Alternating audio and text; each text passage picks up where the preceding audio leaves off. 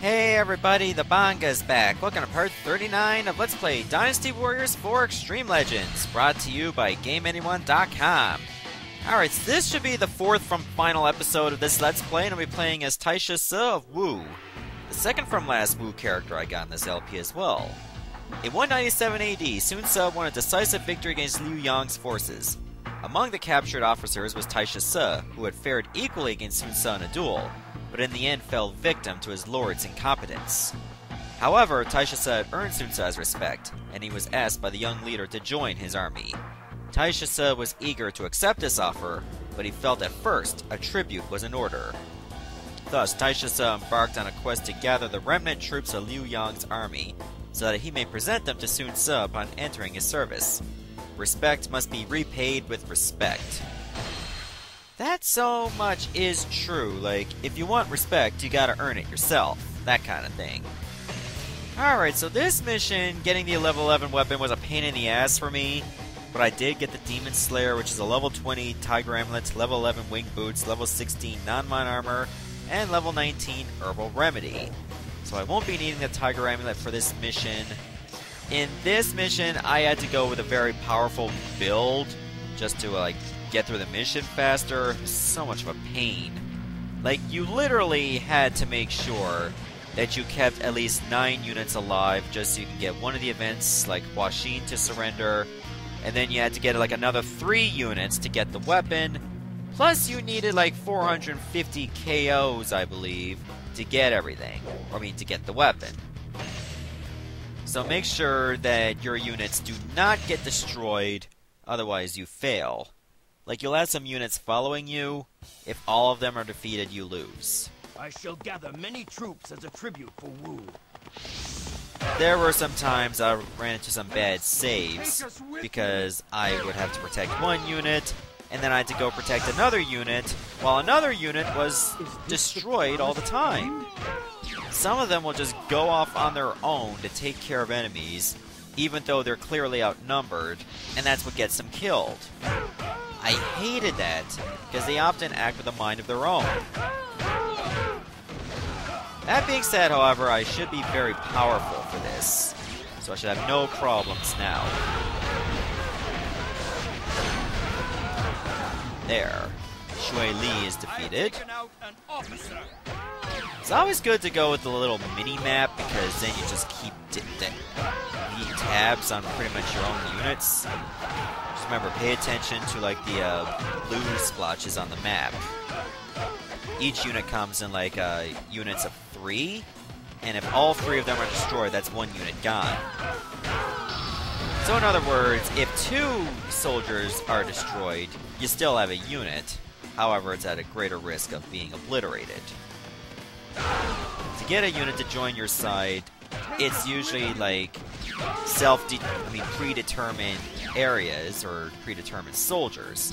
Once you get a little bit closer to them, they will then surrender and join you. So basically, I had to make sure I had at least a minimum of nine units with me when I got to Huaxin in the west.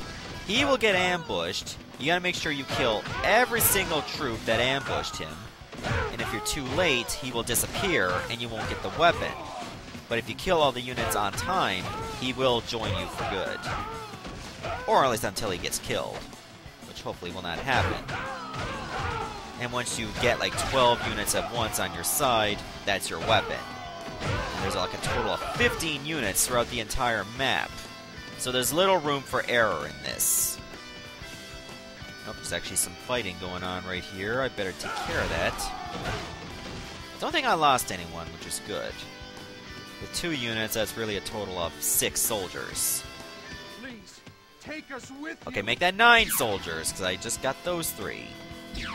It's kind of confusing, and I'm thankful you can see like the health meters if you press L2 at least once, because some of your units will still be wearing green, thus making it a little bit more confusing. I feel like the Peacock Urn is not needed because you're not going to be playing against playable characters or fighting against playable characters. Therefore, the, the enemy officers you're going to be fighting are weak. Though some of them may be in hyper mode, they're still not as strong as like a playable officer that you fight. Us with you. There we go, I'm getting more units to defect just by walking next to them. Eventually, Fan Ning will show up. He'll All come right, towards then. us. Let's search this area next. About that central battlement over there to the south of us, we can't go in there through this entrance. We have to go in there through the side entrance. Please, take us with Okay, go over there to get another unit, so that's a total of six. That's great news for us.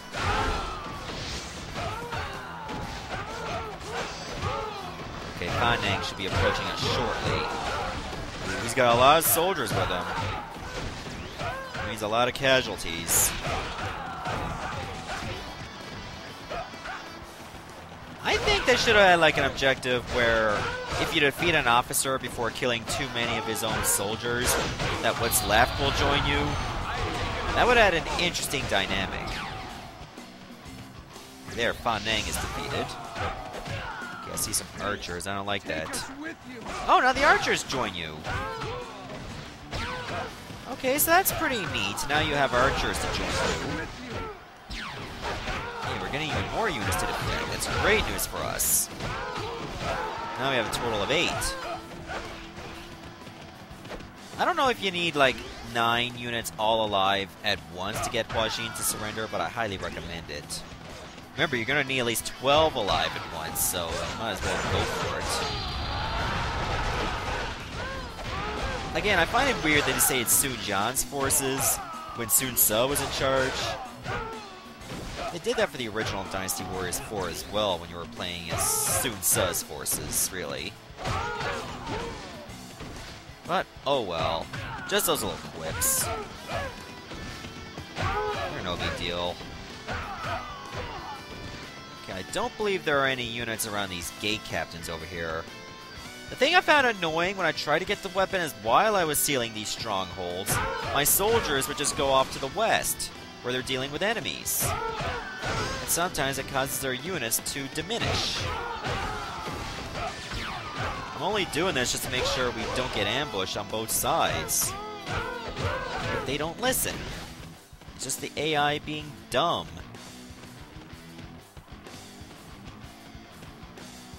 Alright, I'm not gonna worry about that stronghold over to the west. I mean, to the east. Ugh.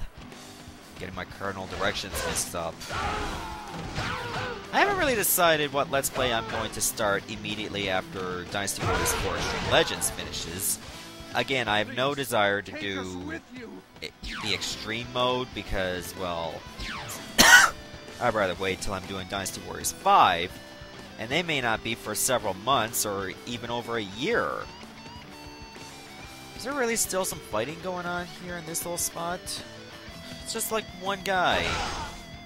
I don't think he's capable of doing much, but I'll do it anyway. It's a good thing I went with the speed scroll because I find like taking a horse, like getting off it and getting back on, and then repeating over and over again got tedious. It actually slows you down more than you would think. Alright, so I mean, I do have some options what my next Let's Play is going to be, like maybe Pac-Man World, or maybe a game that's not on my to-do list, but I might add it, because my to-do list is actually getting shorter. Plus, I believe that my friend uh, Ryan Bragg, aka NFM Punk 84, or no, the Show Off 84, or Aerofan NF as he used to be called, is getting a 3DS capture card, which is pretty awesome, and he's actually going to let me, along with Pull NL112 and Pull at NL180, borrow it if we do Let's Plays up either a DS or a 3DS. Again, I would rather a 3DS capture card over a DS capture card, because you can do DS games off the 3DS. It may not look that great, however, it's still doable. So, it means I won't have to spend as much money to get my own device, but I'll have that option sometime down the road. Just don't expect it anytime soon, because I'm not in a rush to expand my already massive library. It's just letting you know that that option is there. Alright, so let's take out these units over here. Wow, I got like 10 under my control. Some of them are already engaging these scum. Doing alright. I'm Guessing the more high my morale is, the better that they are going to perform. Because technically, they're with me.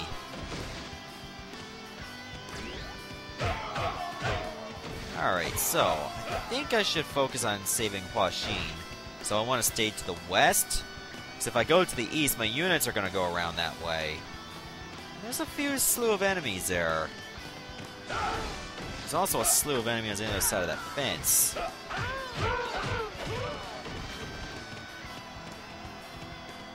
So I did not like doing this mission. It was so tedious. It was like Taisha Sub Babysitter Simulator 2014. Or well, I think it was 2004. I think it was 2004. No, 2003 when this game came out. Yeah, it was 2003. Yeah. Because I know it wasn't that long, like maybe two or three years after Dynasty Warriors 3 came out. Probably wasn't that long until Dynasty Warriors 5 came out. Looked a little bit revamped compared to 4. I know 3 was similar to 4 in terms of graphics. Physics were a little slight different, but oh well. Alright, so far so good. I mean, I haven't lost a unit. I like to keep it that way. There, sealing strongholds again will be your best friend. Because in this mission, they don't reseal or unseal. So that gives you a little bit of an edge. Fine, I'll just smash these pots. Make the Zelda fans happy. Zelda fans such as myself. Like how they sound so desperate. It's like if you don't if you don't let us join, we will die. And they probably will. Nope. Don't even think about it. You may have won the deadlock, but you lost the battle overall, girl. Nope. I let you guys swarm my units. And I'll show that guard tower who's boss. No, these are my own archers that was shooting those arrows, that's right. Alright, just let me clear up this battlement around here. And we should be done shortly. There. Alright, I think now I'll go south. I can find that some of my units are already fragmenting from the pack. They're just going of their own accord. Very few of them will come with Help me, someone, anyone. Alright, so some of these units are pursuing Huaxin are on horseback. So they'll just stick around you. Make sure I kill every single one of these soldiers before he escapes to the northern part of the map.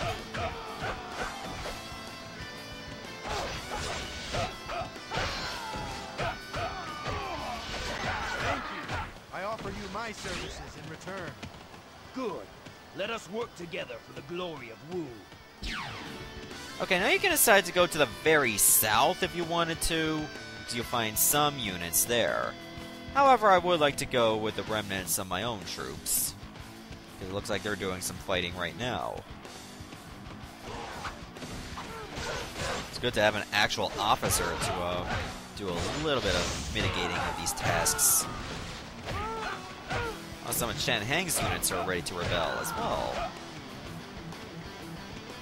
I don't think I plan on getting all 15 units on me, because some of them are pretty Take hard to protect at once. Oh, I got 13, that's not bad. Alright, let's get across here. That's how we're gonna get in this battlement. This is too much. I can't do this any longer. Oh, I got even more Traitor, you defections. shall pay with your life. Okay, once you deal with Shan Hang, Yu Mi will also show up around here. So I think I'll wait for him. Good. We'll take this area. Oh, I lost the unit. And that was the ones to the southeast. I'm not worried, I still got 13 units. So there's no way I'm going to get all 15 if one of them already got killed. They weren't long getting killed. I mean, they just recently defected and already died. So Chen Heng should be coming up. Once we defeat him, the mission's over. Remember, the way to win is to defeat all officers. No, wait, that's actually Xin fighting. I believe Hua Xin didn't stay with Wu that long. He eventually went to Wei a few years later. I think he served as a uh, one of the ministers within the Wei political group around the time that Cao Pi was going to try to abdicate the throne. No, the emperor was to abdicate the throne to Cao Pi. really as great a man as you say? Yes, I sense the stirrings of a new age within that man. I have chosen to gamble on that.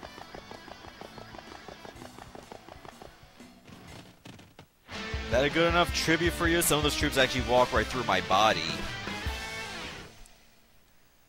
And that was actually a pretty lengthy mission due to the whole babysitting all your troops, that kind of thing.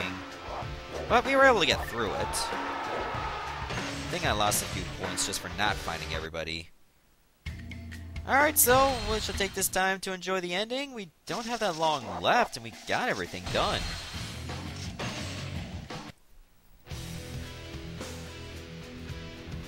Wu officer, born in Huang in the Donglai region. Dong.